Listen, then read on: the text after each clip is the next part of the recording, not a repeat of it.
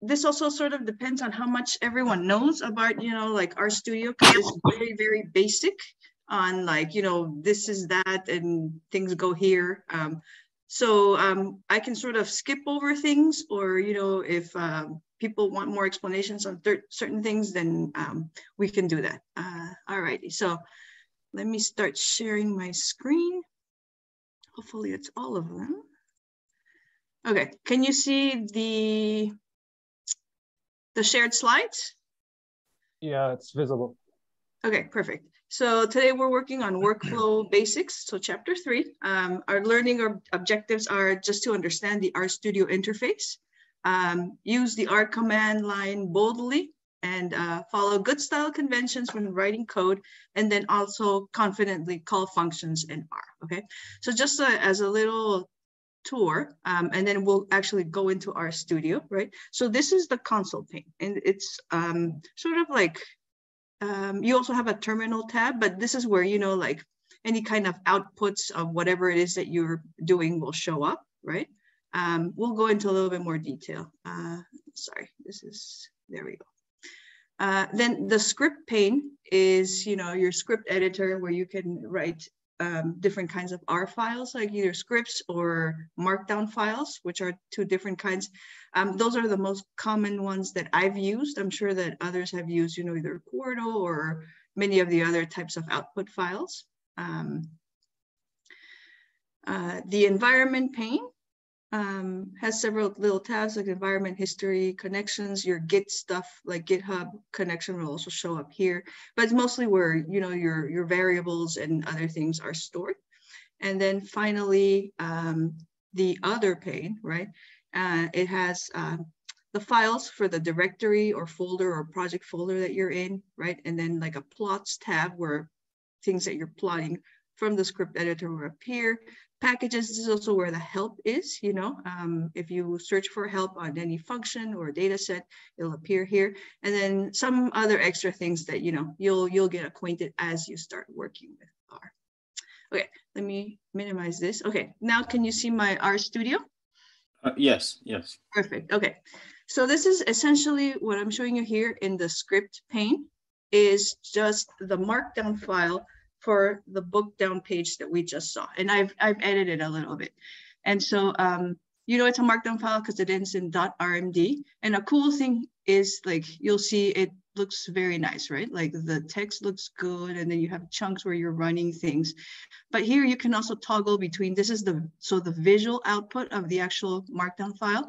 And this is what the source looks like, right? So this is like your very, I guess like raw um, Markdown has like a header, then it has, you know, chunks to run our code. And then in between, it's got all of this writing essentially, right?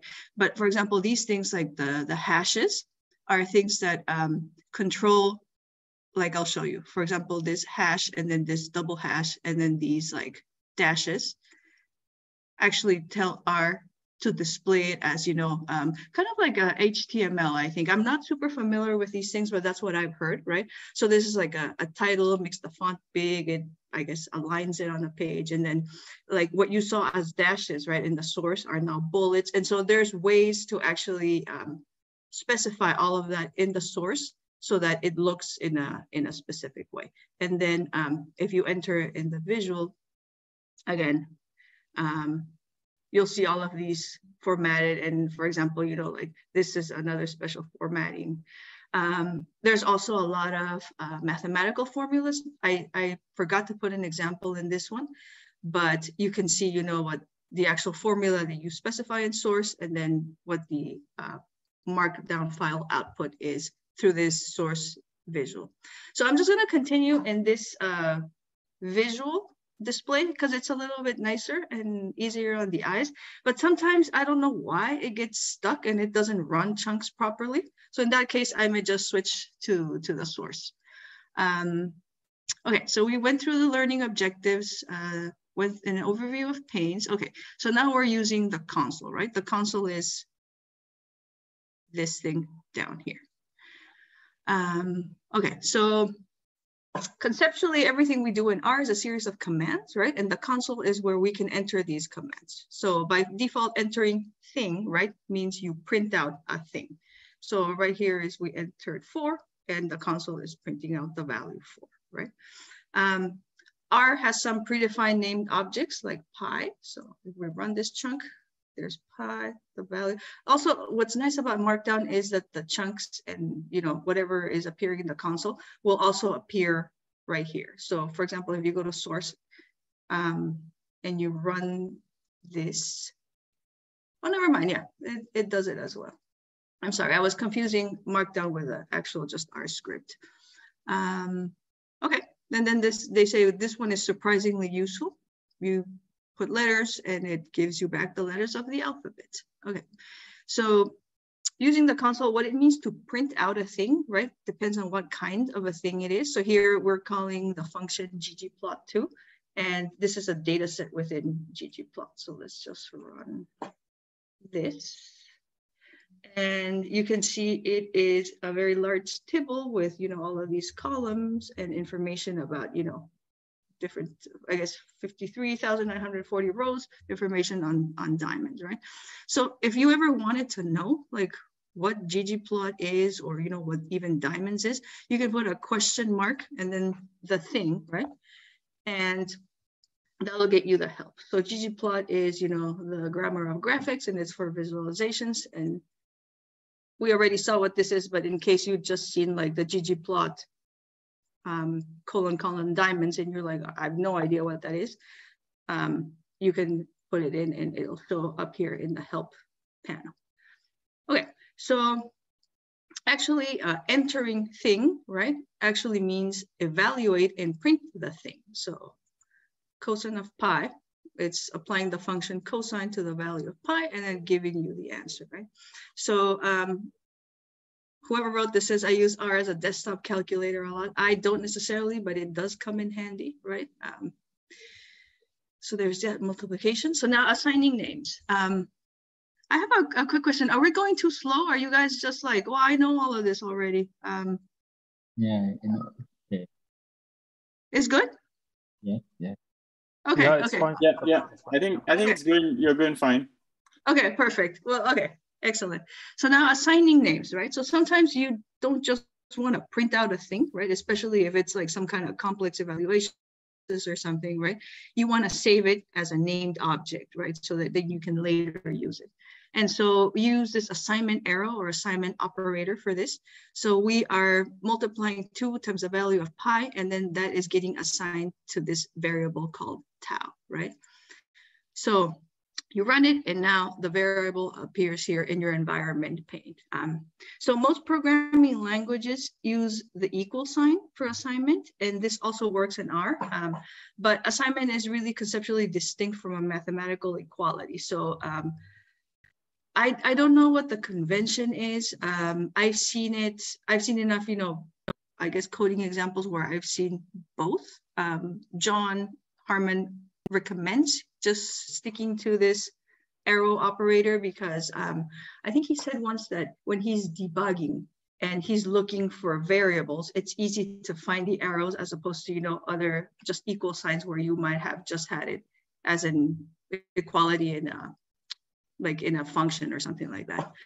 Um, so to me, I, I've not seen the advantage or one or the other, but I've just kept that in mind. Um, so it also has a keyboard shortcut, so you have to keep typing the whole thing. So it's Alt and then the, the minus uh, key.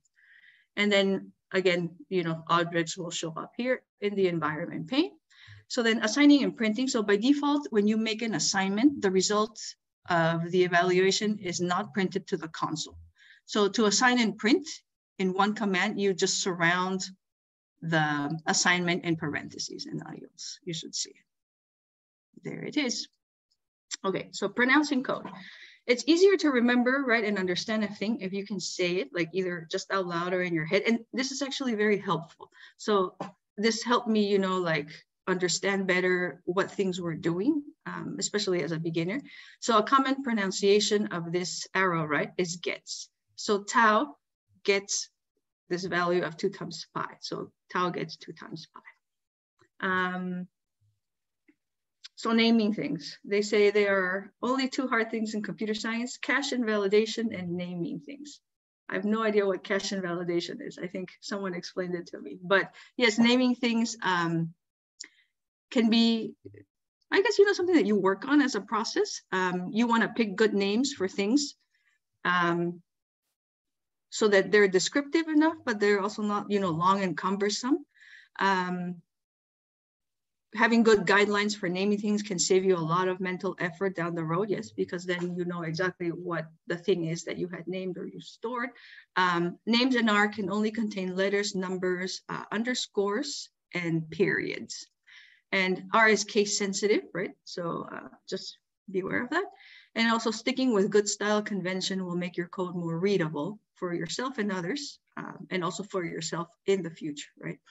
So um, use things that are descriptive, so not just X, Y, Z, right, or ABC. Um, long names are okay. Um, allow, use all lowercase by default with underscore as a separator. So for example, this is um, snake case, that's what it's called. Some people also use camel case. Uh, I think Hadley recommends this snake case. You, you can do whatever it is that you want, you know. Um, however, it's, it's a bit more readable and intuitive. So, okay, functions. So a function in R is like a function in math, right? It's a box that takes an input and returns some output. So functions can take zero, one, or more than one object as input, right? You call a function, you specify values, so the arguments for the inputs. And then evaluating the function call gives the output of the function. So in this case, we're calling the function length, and we want to know the length of this uh, vector letters. I think it was a vector. So it's telling you 26, right? That's correct for the letters of the alphabet. Or for example, um, for the ggplot example, n row, the function n row will tell you the number of rows for that diamond data set. So 53,940. Okay, so the inputs, so the function parameters have names, right? When you pass the function arguments, you can do so by name. So um, the sequence from one to 10, 10, okay, that's the sequence. Um, specifying names is usually optional, but it can make your code more readable. So it's a good habit to get into. So if you name the arguments, it doesn't matter what order you put them in. Uh, how is this naming the arguments to 10 from 1? Okay, I mean, that's the same thing. And if you don't specify, oh, I see. So just the, the from and the to are just naming the, I guess, beginning and end arguments for this sequence function. So here you don't specifically specify the name, um, but the function will match the arguments to the parameters in the order that they appear, right? So this should be the sequence from 10 to 1, I'm guessing. Correct, yeah.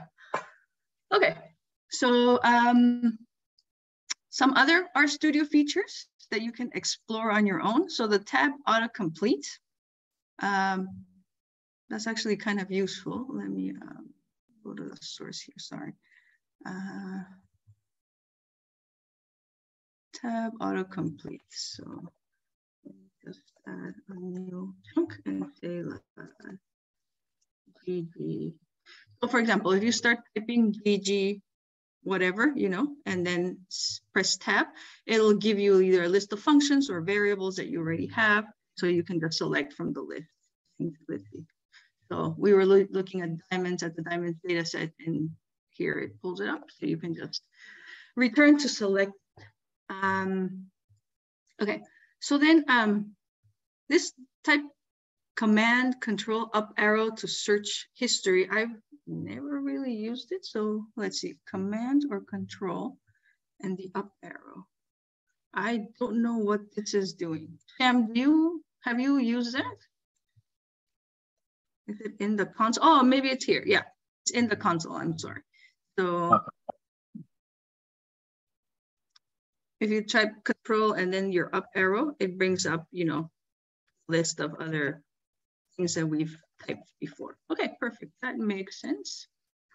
Um, if you use Alt, Shift, and K, you can see lots and lots of shortcuts. So Alt, Shift, and K brings you all of these keyboard shortcuts. So you can, you know, pick whatever is most useful for yourself. Um, there's very many. Okay, so I'm gonna move on. And then um, this person says one of my recent favorites, the Alt Command down arrow inside a script. So just let's see, I have a script here. Um, so what was it? Alt Command down. Um, Alt Command down. Control down or up, I guess. Like it, that looks like it's selecting something. And do you know what that does? Um, which one? The Alt Control down, see? Or, okay, so say that I put it here. So Control Alt and then down arrow. See how it seems to be selecting several lines? I've never used it. Uh, Like, I've never. what is that for? Um, ac- If actually, this, someone's used it, let me know. uh, this is very useful. Uh, actually, you can uh, control all the cursor um, at the same time. Oh, Uh, okay. So, so you can, for, for example, you can change uh, uh, the name of some variable uh, all Yeah, at like- once, maybe. Uh, okay, so I think uh, Oh, yes, for, for example, if I have a variable called maybe area and I thought Uh-huh. it multiple I can just highlight do this, and when I change the name of variable in one place, it will change it in every other place. Oh, Yeah. but you know what? I think that there's a keyboard shortcut for that, which will highlight you the variable, right? I forget No. what it is. It's like, um, I'm thinking about final this is not find and yeah, I know this feature in VS, so I don't know it's okay. oh, okay, okay. Maybe I'll, I'll just uh, play around with it a little bit more because there's a, a specific keyboard shortcut that will, you know, highlight you. For example, right? Like uh, if I had a whatever variable, MPG or something, right? Um, and then it'll highlight every instance and you can just type over it if you want to change the name of that variable. Um, Uh, maybe Control F will show show the find and replace uh, dialog. Uh, Control S. Control I'm typing F, it, but it doesn't do it. Maybe it's uh, F. Control F. Oh, Control F. Um, okay. Yeah, but this is just fine. No, no, no. It's it's a different one. Like, um, Oh, let me just finish and then we can go back. Um, okay. so keep that in mind. Okay. So, okay, that was just an example here of the tab autocomplete. And then just a few extra things, right? Um, that I sort of found very useful at the very beginning when I, I mean, I still don't know much, but I knew even less, right? So for example, um, if you make a plot, right? Um,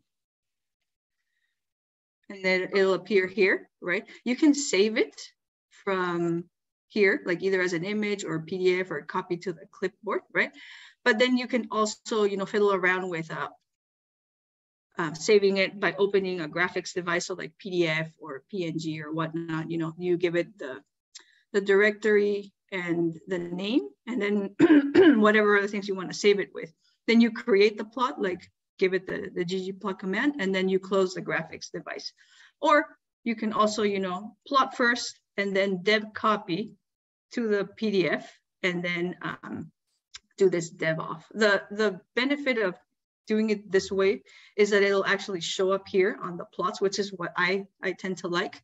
Um, because if you just do it this way, so say that you get rid of this plot, right? If you do it like this, it's written it to the location, right? So for me, it's here, outputs, and it's put out my plot, but I didn't see anything here in the in the plots window. So if you do like this, then it'll save it and it should show plots. That was interesting. Why didn't it show it? Hmm, okay. Okay, well, it, it did it yesterday. I don't know why. Um, okay, and then the other thing that I found useful as like a beginner is that you can actually um, import things like, for example, I have this sample Excel worksheet, right? by using this import data set up here in the environment pane. So because it's in Excel, you can just choose like from Excel. Um, and then here it'll give you like the code for importing this. So you just copy this and add it to your script or markdown file later. So it's reading using the read Excel package and then, you know, telling you how it's going to import it. So you have to go through uh, inputs. There we go. And it gives you a preview, right, of all that looks good to me. And then you can just import and there it is, right? Because I, I remember fiddling around a lot with the commands and then getting very frustrated. And so this, this was very helpful. And uh, there's also, um, it can import all sorts of things, like for example, uh, CSV files or TSV files. You just got to give it like the correct delimiter and it'll always give you like the, the actual command for importing. Um, okay, and then there were just like three super easy exercises that you can do on your own. And that was pretty much it. It's uh, like a very, you know, like brief tour of just like the RStudio ID and what different things do and and just like uh, a couple tips that were useful for me as a as a beginner. So, any questions? Thank you, Sandra. Yeah, no problem. Yeah. So, um, uh, not really new. I use. Let me just VS Code in um, environment is in uh, okay can you see my screen yes right so this is um Quarto um mm -hmm. and in uh, VS Code to um, write R and Python and yeah this is uh, document you already. So this is my blog and because I find out how we do Okay, I started but I will not be it, but now we have exercise. Sam, I can almost not hear you for some reason. Yeah, I am also having the same. Okay. Problem. Okay, can you hear me now? Yes. Yes. okay yeah, so I said um, um, you can use another environment like VS Code to use R. Um, so I'm using VS Code here, you can see for my blog. And um, the idea is um, the exercises for this blog, I will be doing some kind of, which is like, um, I will be sharing in this publicly because I'm learn. So if I'm, you know, and in public, um, I will keep doing. So my the idea is for me to be doing the flow, and uh, yeah, so are and uh, you can see the plot is here, and you know, um, yeah, basically you can see like when I this, this, see that um, I run this, you can see the number of rows. When I run this, you can see that you can do this as well. And yeah, that's just to show you. Yeah, so oh, interesting. So what do you use that exactly for, Sham? So instead of RStudio as your IDE, you use it, but this has other functionality, right?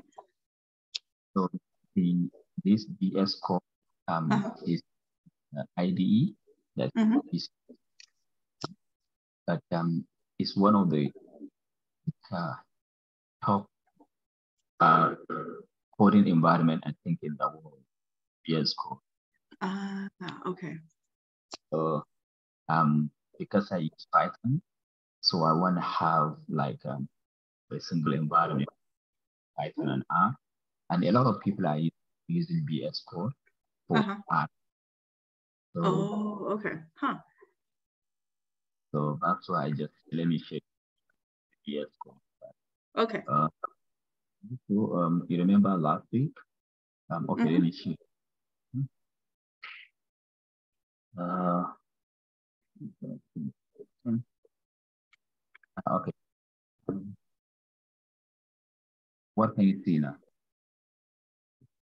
Uh, what can you see? It says you started screen sharing, but I don't see anything. It's just a, a dark screen.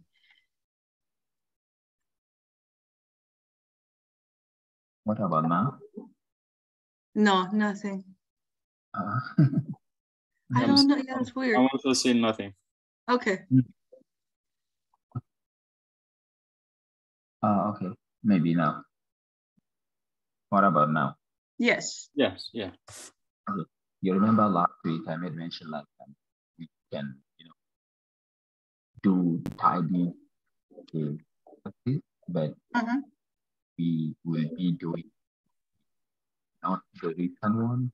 We will be using following the uh, you know, the recordings of Yeah, sorry. I think it's like your, I don't know, it, it usually six. I don't know whether I'm the only one having that problem. uh, can you hear me? I, I- um, yeah, here, we're not very clear at some point. Yeah. Yeah. Yeah, actually, it's not clear and it's very low. Give me Yeah. a second. second. Yeah.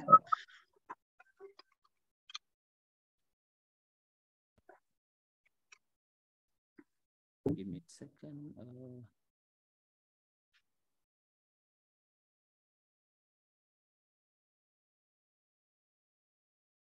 okay, what about now? Yeah, it's clear now. that's better. Mhm. Can you hear me? Mhm. Yeah. Yeah, yeah. Go ahead. It's-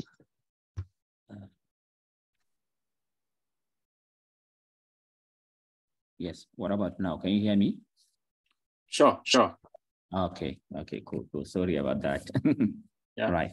So what I was saying is, remember last week we made mention like um while going through the book, the best experience we can have is just like let's try practice some of the data set around the world following the tidy Tuesday. But we said as we just start learning, um, we may not follow the current tidy Tuesday because we will see some people with amazing stuff and we'll be intimidated, right? Because, oh, I don't know this. So we'll just start now doing the, you know, previously recorded Tidy Tuesday by um, uh, David Robinson. I know you know, all of you maybe know, know David Robinson. Um, so David Robinson is basically, um, you know, one of the top guys in R, he did the book, uh, Tidy Text Mining with Julia Silge, this book. Um, so he does, um, you know, screencast recording of Tidy Tuesdays, and you can see them like, you know, this one. So for example, now we may even start with the newest um, Tidy Tuesday, and we can have like, um, um, you know, okay, let's assume we can say, okay, we can do this. So people can go and basically, you know, watch the Tidy Tuesday. So there is even timestamp that is for each some of the packages that have been used. Some there is explanation why they have been used. Can you see that? So there is a timestamp for new stuff that you can see in the, um, you know, in the Tidy Tuesday screencast. So following, you know, someone doing and you see it and you replicate it. So my idea is I would be replicating at least one, maybe weekly, because it's not hard. You can watch it just just to practice. Um, so that's what we discussed last week. Um, so what do you think? Is it a good idea? Maybe some of you might not have been here. What do you think? I I think it's a great idea. I wonder, like, I, I think that also depends on the level of the people that are here on a weekly basis, right? Yes. Um, because I think that for the very very beginners, which I today it doesn't seem like anyone is, um, it might be a bit much. Or um, I guess it, it depends. Like, if you want to do it every week, should we like do it aside from the reading and the exercises in the book, and then also work on the Tidy Tuesday, and then we sort of share? maybe Or do maybe after some few weeks after we go some through the book people are you know become conversant with R because some people are new to R Mm, um, mhm. then we can just start it. Um, or if we are all familiar with R, but we want to, you know, sharpen our experience, Hmm. then Mhm. start it. I don't know. Yeah, yeah, I, I, I- I agree. I think it's a fantastic idea, Sham. Okay, Hamza and uh, Abu, what is your experience with R? Yeah, it's it's a great idea. Um, I'm in, of course. Uh, actually, I'm pretty familiar with R, and uh, Okay, good. yeah, I think Mm. this is a good idea. Okay. Cool. Yeah, Um, yeah I, I, I think I'm in for it. Although I'm a beginner, like, but I, I just used it uh, casually. Yeah, but Okay. I, I think I, I, I, can, I can follow along. Okay, so what we can do is um, I will start from the newest because Mm. the newest maybe include, you know, some of the functions which are new, some of the ideas that are new. So we can just go and try doing this, um, which is basically on data cleaning and um, just try to see it, um, share your ideas in the group, ask question, and we can discuss next week and seeing whether you find this useful on what we can do better. And what we can do is maybe um, uh, at the last minutes, 10 minutes of each day, we just do some kind of casual uh, chat about the uh, what we watch and you know you can share your experience. Okay. Yeah, Yep, that that's sounds great. good. But it's Oh, not One call, Sham. So you said newest data set, so whatever it sorts by, right? Yeah, let me share this Okay. with you. Yes, it's not necessary, it's just optional for us to practice. Yeah, yeah, Mm, mhm. yeah. So sorry if I get you. You mean like um, during the course of the week, if there's um, like if we could go through this, and then next week towards the end we could discuss. Yeah, what I mean is now, um, before next week, we should Yeah. try to watch this and practice it on ourselves. Yeah. And when Mhm. we finish our next chapter, uh, Yeah. next week when we do the last minutes, we just, Yeah. just do some kind of discussion. How do you find this? Uh, what is something exciting? You know, but we can also keep discussing within the in the Slack um, about it. Yeah. Mm, I think Yes. I think that Okay, cool. Cool. I agree. Thank you very much. Uh, yeah. So I think uh, today we finish early uh, because the chapter is not that long. Yeah, the chapter was Yeah, super, super short. Yeah. Um, So I will um um I will practice. I will do my practice and I share. I will share it in the Slack so that uh, I will motivate other people. that sounds good. yeah. All right. So anyone who comes out, Abdul, you want to add something before we go? No, no, thank you, Sandra and Sham- Shamsuddin. yeah yeah thanks thanks thanks man. Okay. Of course, no problem. Um, I'm excited to get started with a Tidy Tuesday, which I, I never did during my first round of this. So that'll that'll make me work at it. Yeah, Yeah, this is Yeah. a good op- opportunity. Uh, Yes. I am I planning to, to do so, but uh, yeah, that's great. Okay. I think I have to familiarize myself with the whole idea of what this Tidy Tuesday is all about, but I, I think I'll catch up. Yeah. so- No. yeah. hmm So thank you all. Um, okay. So see you next week. Okay. See you next week. Okay, Bye. bye bye. Bye.